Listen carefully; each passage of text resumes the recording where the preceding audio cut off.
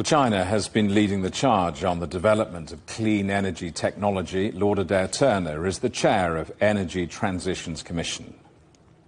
Well, there's a clear focus coming out of the plenum on building China's self sufficiency. And part of it you have to read, I think, within the context of a, a, much more troubled world, a competitive world, a geopolitical rivalry world, and China basically saying they want to have self sufficiency in a set of technologies and leadership.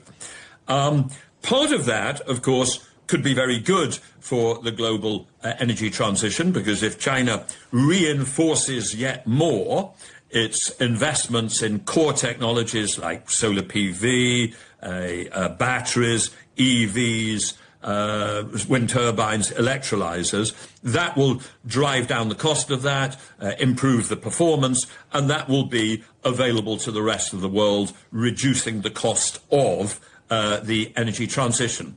The flip side, though, of course, is that the more that China talks about self-sufficiency in a whole series of technologies, the more you're likely to get places like Europe saying, well, we don't want to be entirely reliant on China for these technologies, so we've got to build some element of self-sufficiency alone. If that goes well, it would mean Europe investing alongside China, and there would be, you know, one plus one equals more than two.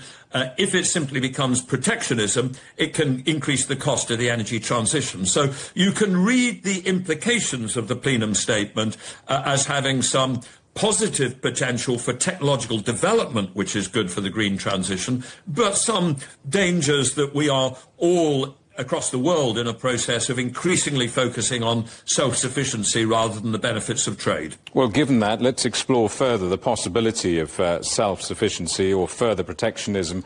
Uh, I mean, how do you see China's potential um, for cooperation with the rest of the world on, on those key global issues? Well, look, the crucial thing at the moment on climate change as a global issue is really the relationship between Europe and China. I mean, also, I think, to a degree, India and Brazil, but I would attach a whole very high importance to Europe and China. The simple fact is that the US has decided that it's not interested in climate change. Indeed, if anything, it is deliberately trying to undermine other people's efforts to pursue climate change action, which we saw last week in America deliberately encouraging uh, a delay in the IMO debates about carbon pricing. So in that environment, uh, what the EU and China does on uh, climate is very important, and I think we have to find a way to work together as best possible, work together to encourage each other to set stretching uh, climate targets in a sort of, if I'll do this, you'll do that uh, type negotiation. And I don't think that's going perfectly at the moment, but we try to, need to try and get that dynamic going.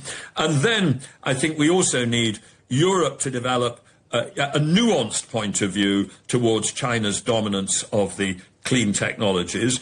Europe is not going to be willing to rely on China for all its solar panels, all its EVs, all its batteries, all its everything.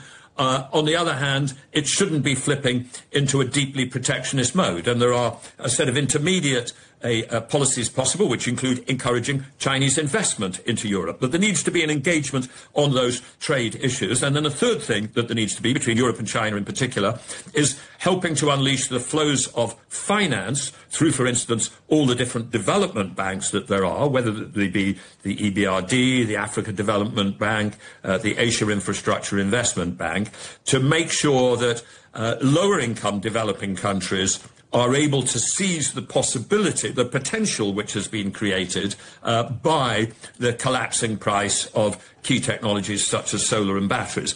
I think, for instance, that Africa is now looking at an enormous opportunity to rapidly develop electricity systems in an entirely uh, green, zero carbon fashion uh, right from the beginning could be hugely beneficial to economic uh, development, but it depends on flows of capital from outside because the African savings rate is not sufficient for it to uh, drive all the investment that it needs for itself. So I think there are a variety of ways uh, in which Europe and China in particular need to be, as best possible, uh, in this rather troubled world working together on these issues of climate change.